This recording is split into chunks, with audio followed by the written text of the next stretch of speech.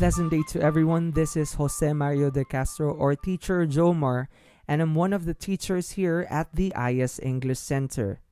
We are back once again with another interesting English topic. Today, we are going to discuss about negations and double negatives. Do you know how to say no? You don't have to answer because you probably do, but do you know how the function of the word not is different from the word no, or how the adjective no is related to the adverb not? Quite confusing, right? Have you heard of sentences like this? That won't do you no good. I can't find no words to say. She didn't want nobody to see her. I'm no good. I have not money. And that won't get you nowhere. Sounds good? they may sound good, but their meaning can be misleading. In creative writing and urban speech, ambiguity, ambivalence, and emphasis are beautiful elements portrayed by literary devices. In rhetorics, double negatives are considered as figurative languages or literary devices. They may fall under these categories exaggeration, pleonasm, understatement, or litotes. Here are some of their examples.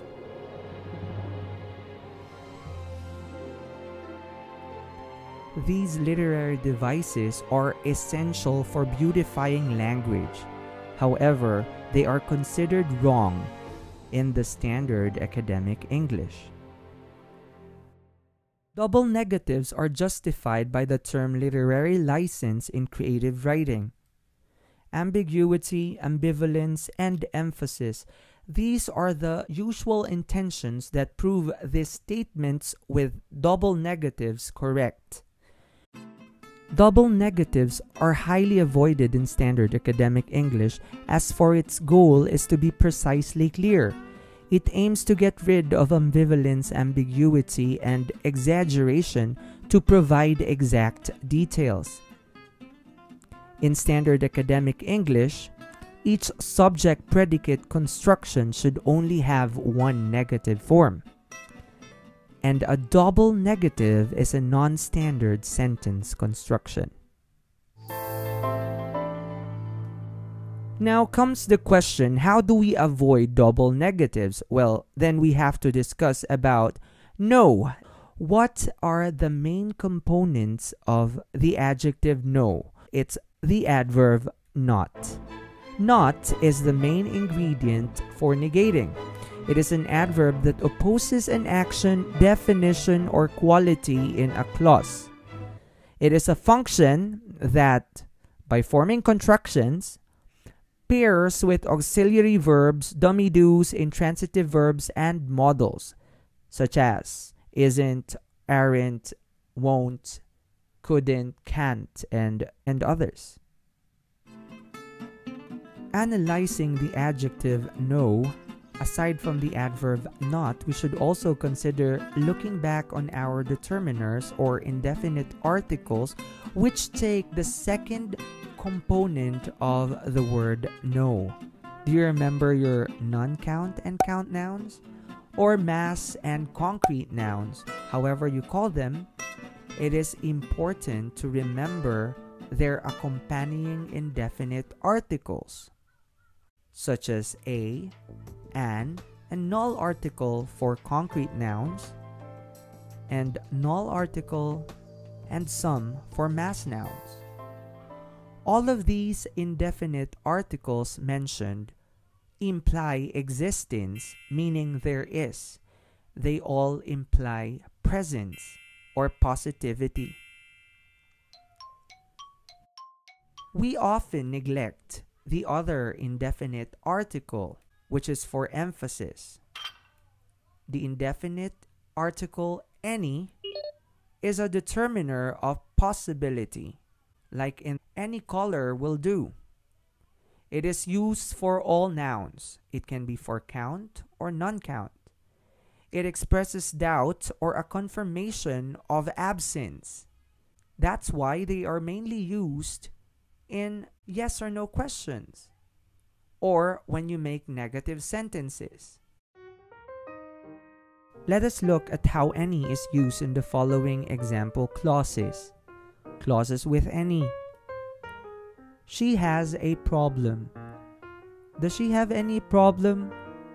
She doesn't have any problem. Does she have a problem?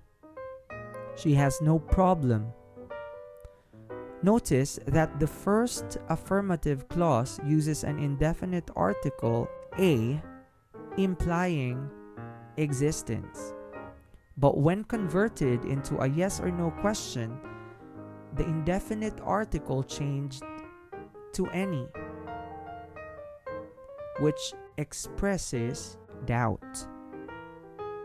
Does she have any problem?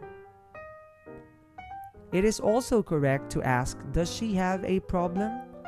But what is the difference? The difference will be the possibility of not having any problem. When you ask, Does she have any problem? it is possible that the person does not have any problem at all.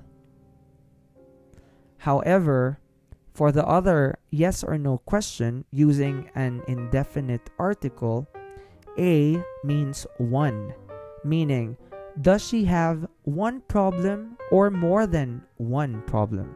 That would be the implied meaning. Now let's look at the last sentence. She has no problem. Notice that not plus any is equal to no.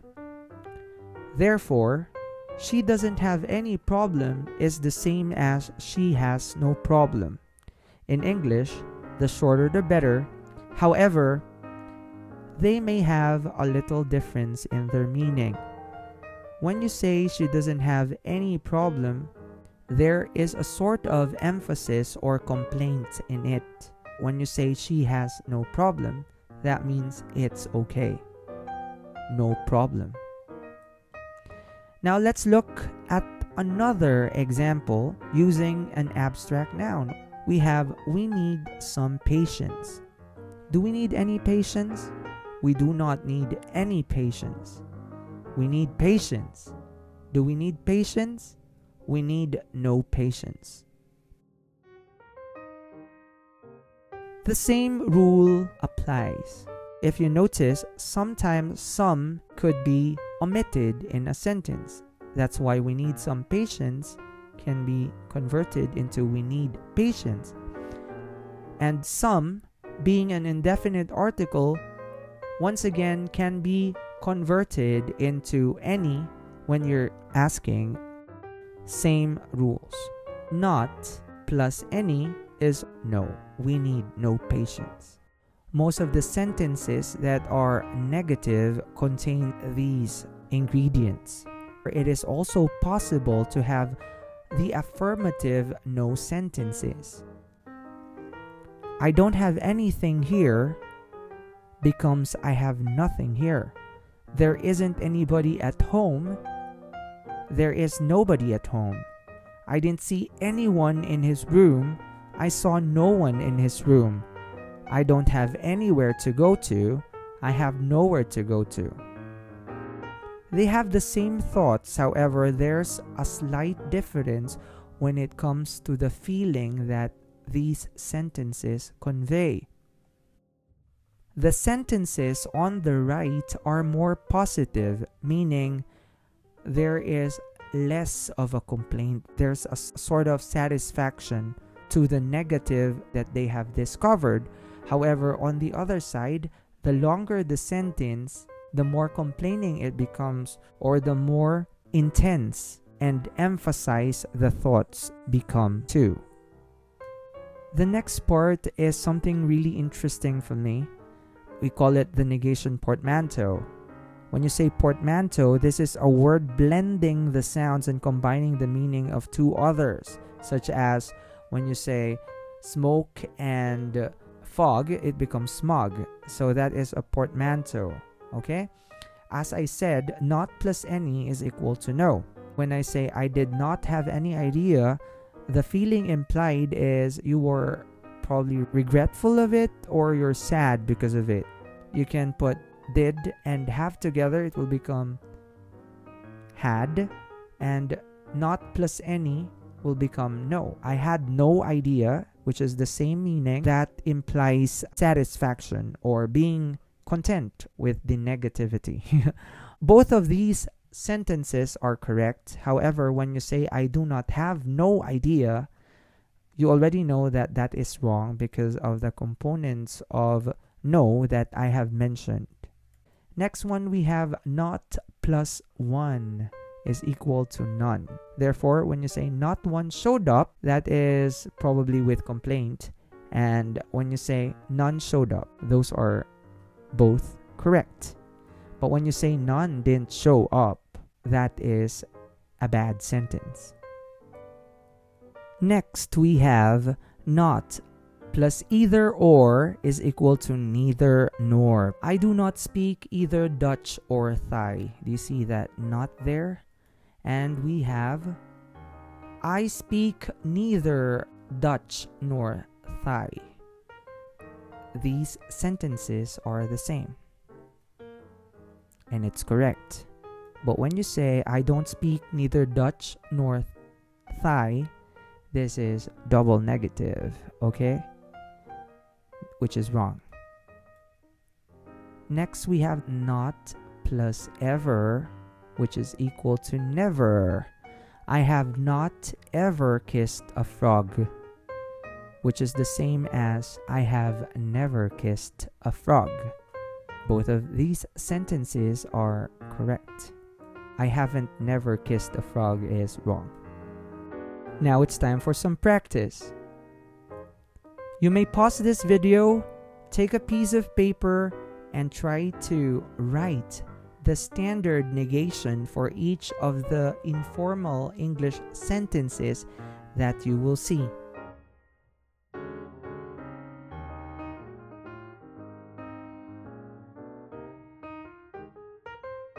Here are the answers.